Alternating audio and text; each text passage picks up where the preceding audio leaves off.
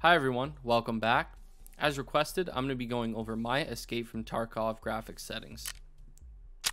Now starting at game, I have auto RAM cleaner set to on and use only physical cores set to off. Set your screen resolution of course to your monitor's native resolution and my screen mode is set to full screen as I only run one monitor and it does provide a small performance increase. As you may notice I also have VSync set to on and if you also uncheck VSync in the Nvidia control panel, it will unlock the frame rate in Tarkov, which it's previously locked at 120. My texture quality is set to medium, shadow quality low, object level of detail at 2.5, overall visibility at 1000, shadow visibility at 50, anti-aliasing at TAA.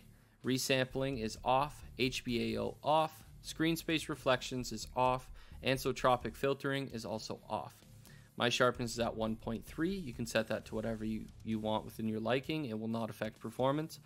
And high quality color, Z blur, chromatic aberrations, noise, and grass shadows are also all set to off.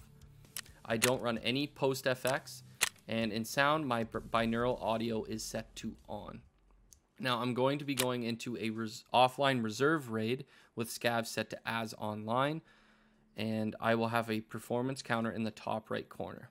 Now, if you use these settings, if you wouldn't mind, go into the comments and let me know if you've gotten any performance gains. Thanks for watching, and I'll see you in the next video.